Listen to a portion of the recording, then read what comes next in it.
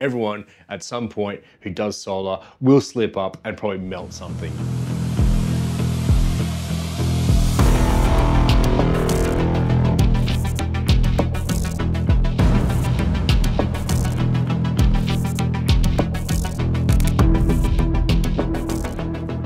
I just need to put a quick warning out there.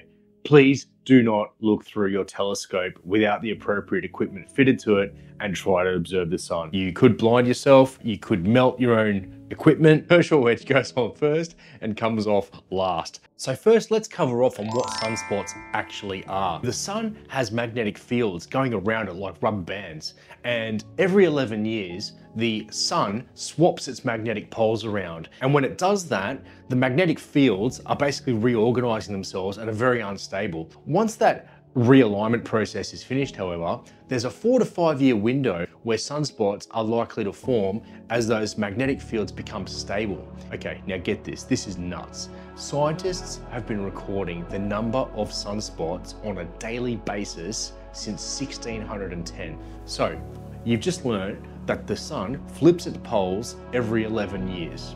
And when it does that, there's a period of basically no sunspots and then for about four to five years, increasing amounts of sunspots and then it hits a peak.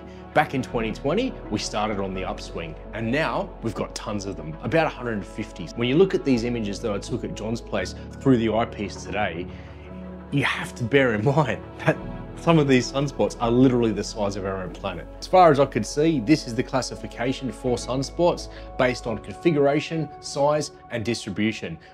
That's what we know about sunspots. So what about these solar flares like the ones you can see behind me, these massive eruptions of solar energy? What's actually going on there? So at the surface of the sun where we see a sunspot, we've been able to ascertain that that is because a magnetic field or magnetic fields are suppressing the solar energy in that location from reaching the surface and preventing that energy from being released into space. Like rubber bands, they can snap.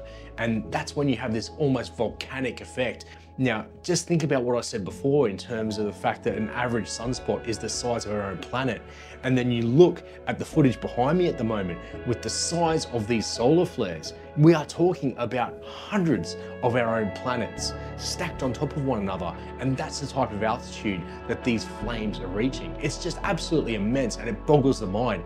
But that's why I love astrophotography. Another thing, it's just the gift that keeps on giving, isn't it? I'm caught up now seven months deep down the road into deep sky imaging had no thoughts of actually venturing into visual astronomy whatsoever and met a few people and boom, this big money pit is opening up and beckoning me to fall into it and get in trouble with my wife all over again.